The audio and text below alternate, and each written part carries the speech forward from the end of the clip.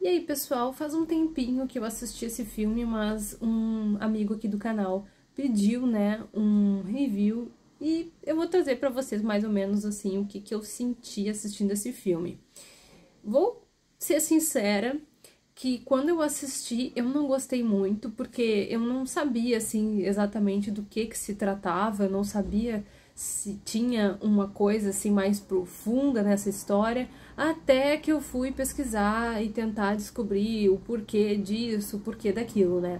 Porque a premissa ali do filme é que a Jennifer Lawrence tá ali com o marido, que é o Javier Bardem, né? E aí a mulher tá achando assim que vai ser um final de semana comum ali com o marido dela e começa a chegar um monte de convidados que estão de penetras ali, né? E começa a chegar um monte de convidados e o marido dela não se importa que aqueles convidados estão chegando e ela começa a se incomodar porque que aquela gente tá entrando, invadindo a casa dela, destruindo a casa dela. Então, são cenas assim sufocantes que tu não entende, mas por que que isso tá acontecendo?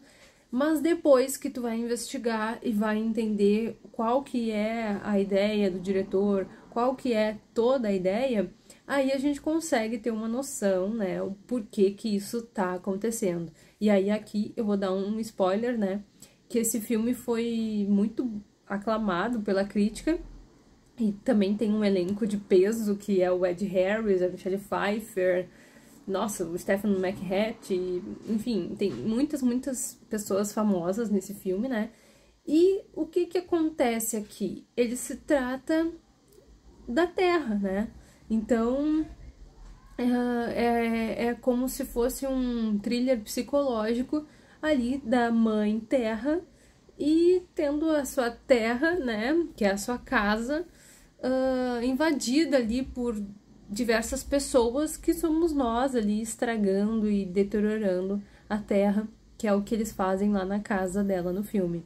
Então eu achei bem interessante, achei bem legal mas isso depois de assistir, porque quando eu assisti, realmente eu não tinha muita visão de que era isso que ele queria nos passar.